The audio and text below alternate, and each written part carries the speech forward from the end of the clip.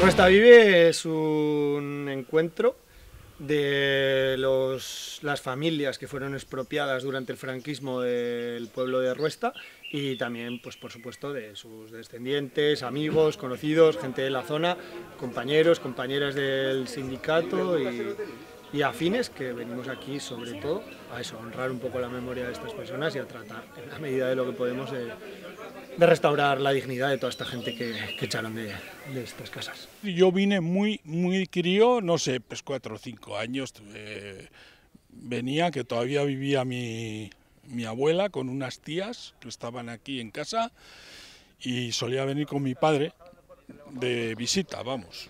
Mis tías fueron de las últimas que salieron de este pueblo porque fue morir mi abuela, que según tengo entendido es la última enterrada en el cementerio en el año 67. Un día especial en el que se les hace una especie de fiesta popular, suele haber música, comida, un encuentro para demostrar y bueno, para seguir intentando dar vida a este pueblo.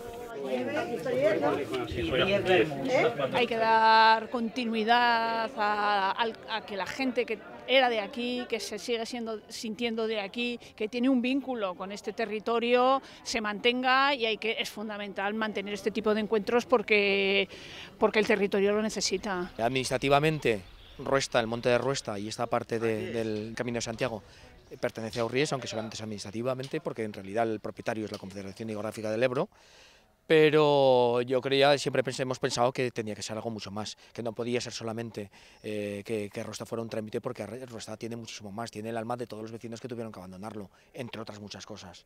Y de ahí viene un poco la vinculación hoy presente con, con, con este municipio y con tanta gente, con tantos vecinos que hemos ido conociendo. Los objetivos es intentar empezar a habilitar otra vez más viviendas, porque realmente el trabajo ha sido fuerte, pero hay que seguirlo. Yo creo que es la manera de, darnos al entorno, sobre todo, agradecer a la gente anterior que ha trabajado aquí y sobre todo a la gente que vivió y que fue expulsada aquí, darles esperanza. Año tras año se va viendo las mejoras. De hecho, este año pues ha habido mucha gente agradeciendo todo el trabajo que lleva hecho el sindicato aquí en este último año.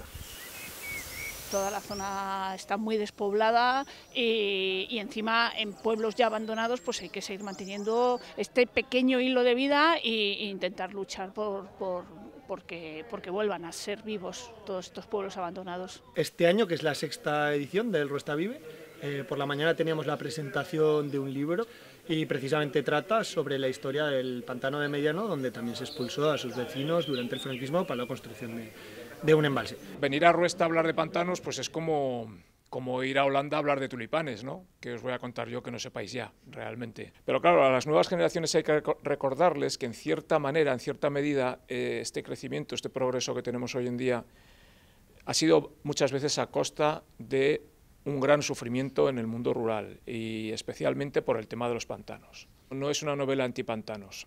Lo que sí es una novela es contra cómo se han hecho los pantanos o muchos pantanos en Aragón. Es que son tantos los casos eh, en los que digamos que se arranca la vida de, un pueblo. Después, como todos los años, hemos eh, puesto un poco al día a, a los descendientes del pueblo de todos los proyectos y todo lo que estamos haciendo en, en el pueblo. Luego hemos tenido vermú, comida, lifara, que se, que se dice también, como una comida y sobremesa. Hemos estado hablando bastante tranquilo. Y ahora en un concierto de Tocándos la Polla, que es un grupo de versiones de La Polla Records de aquí de la tierra también. Yo este año he visto a bastante menos gente mayor, me imagino que también es por edad.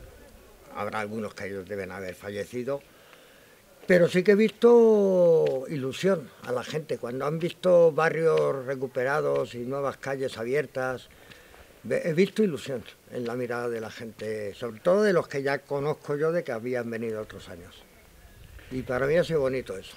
Ruesta se abandonó cuando se construyó Yesa y ahora por el recrecimiento del pantano, eh, Artieda está afectado por el recrecimiento directamente y la lucha sigue porque llevamos más de 22 años probablemente luchando contra, en un principio contra Yesa y ahora contra el recrecimiento. El proyecto que tenemos desde la CGT en Ruesta es eh, la ejecución de eh, las obras necesarias para tener eh, agua corriente en el pueblo. Espero que, que se haga el ciclo del agua, que es una cosa a la que el sindicato se ha comprometido para el 2025. Luego tenemos un invierno muy activo de trabajo en este pueblo para ir acondicionando todo y a partir de ese ciclo del agua yo espero un resurgir de gente, de sindicatos y de gente independiente incluso que van a empezar a, pensar en que es una posibilidad real de, forma de vida. Y más con lo que nos está viniendo encima.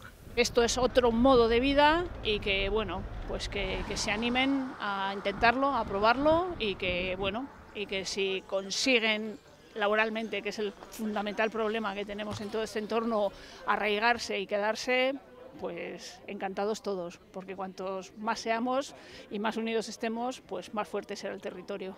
Es un sitio privilegiado porque la naturaleza es, está totalmente salvaje, donde el humano dejó de intervenir hace mucho tiempo.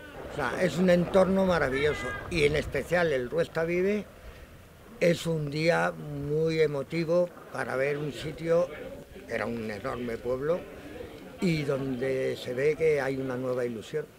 Entonces el Ruesta Vive es un día bueno para conocerlo. Todos los días son buenos para venir a Ruesta.